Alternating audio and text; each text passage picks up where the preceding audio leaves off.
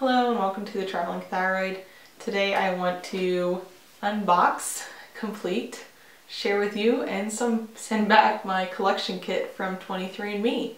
So 23andMe is an online company that does data collection and DNA analysis and the reason I've wanted to do this, I've actually wanted to do it for years even before I knew I had a thyroid condition because I want to know about any medical conditions I may be predisposed to or my heritage.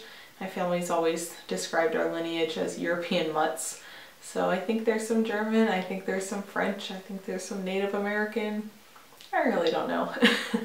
but uh, anyway, so I wanted to share a little unboxing, completion, and sending it back. And I actually have not shared anything with 23andMe. I've had a profile for about four years from when I had wanted to do it years ago. Coincidentally, about six months before I was diagnosed with anything, before I knew I had any medical condition associated with my thyroid. And I had a coworker who had done it and praised it. I never did. I just didn't want to spend the money at the time. And when I was diagnosed and felt like it was time for me to take that step and, and try and get any information I could about my, my lineage, my, my DNA, or any of my predispositions for medical conditions, 23andMe had been pulled. I, I don't know what government agency had put a pause on it, but they pretty much said you can't do your services until we uh, approve what you're doing. So after a few years, they have recently relaunched and now their kits are $199 what I'm going to do is, uh, it's going to be really fun. You're going to watch me unbox this, read the directions, spit in a cup like a lady, and package it back up, and then I don't know that I'll share all of my personal information. I don't think that's appropriate. However, I would love to share some of the findings and then tell you how accurate I think they are. And I, I, I fully expect them to be accurate. I just ha I haven't even told 23andMe that I'm a female. I haven't told them my age, my, my heritage, anything. And so I want a, a blank slate for them to tell me what they think my, what, what my DNA tells them or how they analyze it. And then I'll start completing the surveys and profiles. And I would eventually like to get my husband one as well and maybe some of my siblings or my father. And I think that'd be really cool. But Anyway, so it arrives in this cute little box, which is really small. It says 23andMe on the side there. It's probably not going to focus. But anyway, it comes in a cellophane wrapped and on the back is my address, but for personal reasons I'm keeping that covered. So I'm going to open it on up. And my understanding is there's a label in here and I just go ahead and slap the label back on with my sample and mail this cute little box back to them. So yep, then pre-stamped label on the back. Um, and so, all right, it says to register your kit at 23andme.com slash start. And all right. So within here, ooh,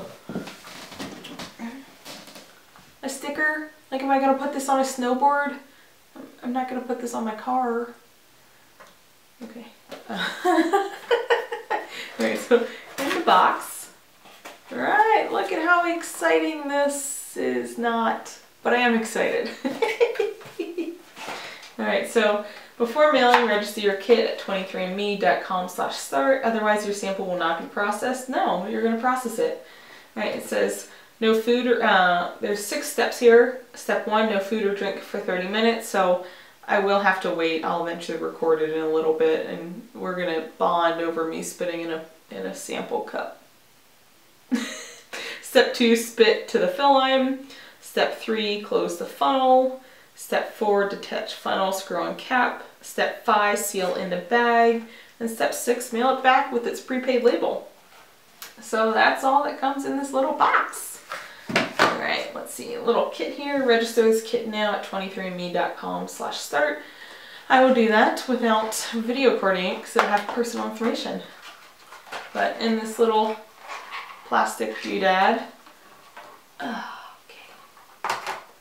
So that was the register now. Oh hey, the same six, six steps again with bigger pictures and a little bit more.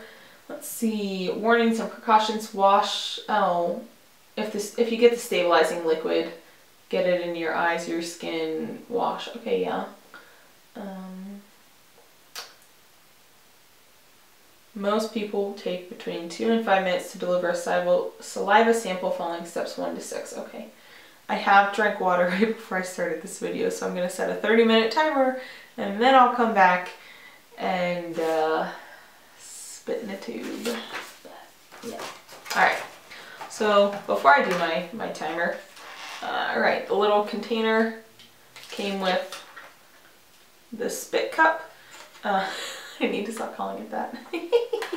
it tells you how high to fill it to with saliva and then in this lid there's actually a liquid. I'm not going to move it because it's going to release the stabilizing agent into the tube so that way it's safe to be mailed and it won't compromise my, my DNA while it's being shipped through any temperature extremes or pressurization. So, all right, this is really cool. And of course the biohazard bag, which makes a lot of sense. This is, I think, what I put it back in after I spit in the tube and then stick this back in the clear bucket. And then I put it back in the box and then I mail it off. And then in I think it's 48 weeks I'd have to look on the website again. And then I'll get my my results. So all right 20 minute timer. No 30 minute timer starts now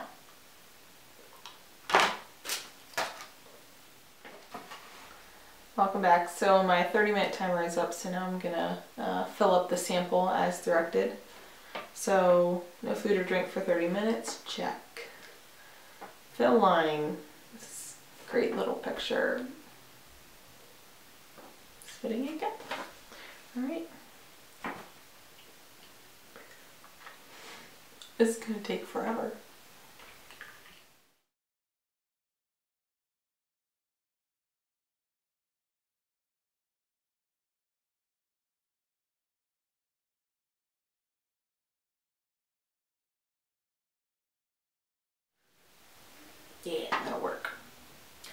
Hold the tube upright with one hand, close the funnel lid with the other hand as shown. By firmly pushing the lid until you hear a loud click, the liquid in the lid will be released in the tube to mix with saliva. Make sure the lid is closed tightly. Alright.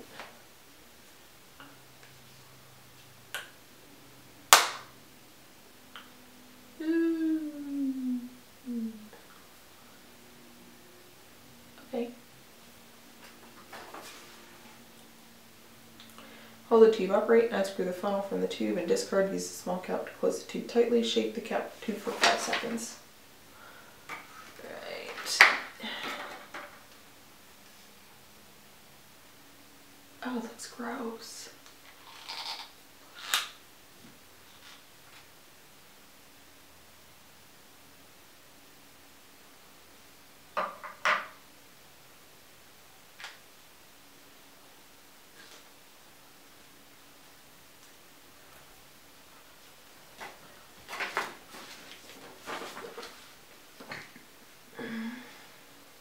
Okay. Place the cap tube into the plastic bag containing the absorbent pad and seal the bag.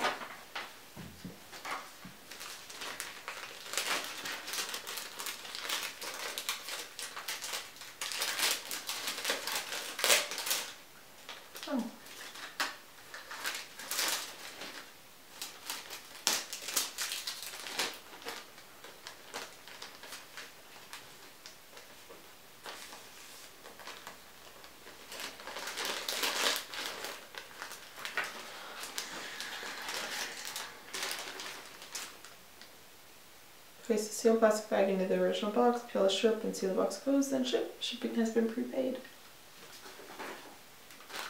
I'm going to put mine back in here. It doesn't specifically say to or not to, but I don't see why not. We'll keep it stable.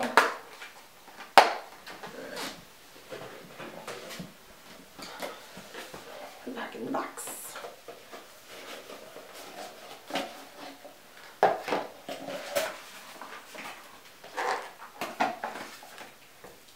Bye-bye, DNA. I'll see you in two months.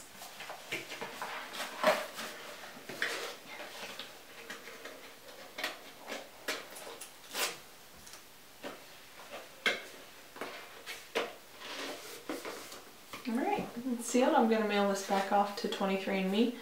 So uh, it should take four to eight weeks, and then in the 30 minutes between until I was ready to spit in the cup, I went and registered my account. So now I now 23andMe does have my birth date and my my gender, but that's just the means of identification. So I've told them nothing else, and I can't wait to see what they say about my heritage, my health, my predispositions, my genetics. There's a lot of cool things that this offers and I'll add a link below of a, a, quick YouTube video. It's about two and a half minutes from 23andMe and it actually is a quick synopsis of the type of reports that they provide upon analysis of your DNA. So I'm real excited. Thank you for joining on the Traveling Thyroid and if you're interested please uh, oh, I, I think I can put a link down below for you to go to go to 23andme.com and get your own information about your about yourself. So Thank you very much and I'll see you later. Bye.